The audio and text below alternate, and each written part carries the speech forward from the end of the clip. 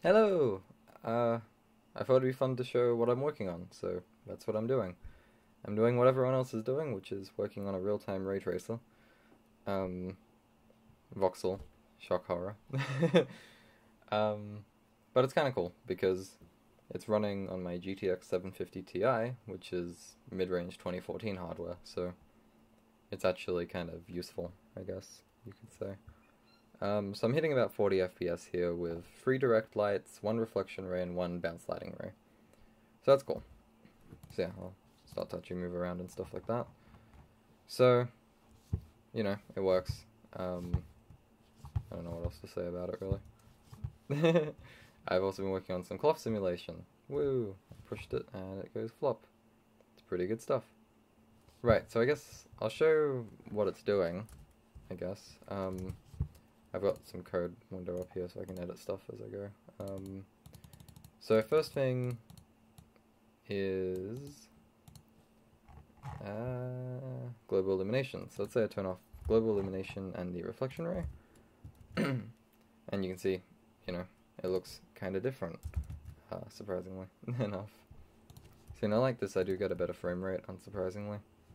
So I'm able to do about three uh, direct lights without much difficulty. I hit 60 FPS, which is nice. That's a good thing to hit. Um, and you can see, like, it's all completely in real time, as you can see. So that's cool. Got these cubes going about. Ask why. Anyway, so that's that. Um, but it looks a lot better with GI, of course, so I'll turn that back on. And yeah, now it's all slow and kind of noisy. Cool. ah, jeez. But uh, yeah, so I don't know. I don't know what to show. It's I don't know. Here, I'll, I'll make the uh, the beads glow a bit. That'll be kind of fun. There we go. Now they're glowing blue. That's kind of cool, isn't it? So the reason this runs pretty decently is pretty much just aggressive importance sampling. Um, so the main lights, this guy, this guy, and the one out here, they're all importance sampled.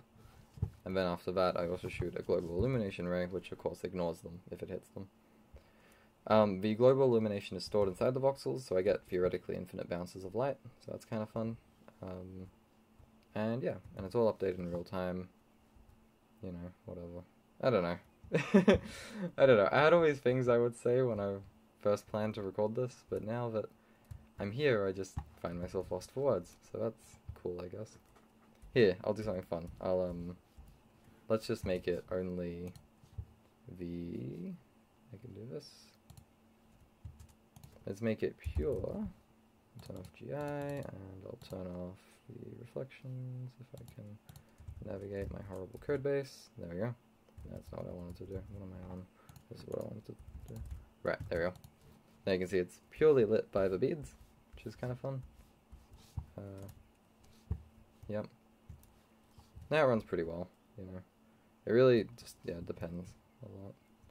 Pretty much, this handles really large light sources. Large dim light sources are pretty much the best thing for this engine.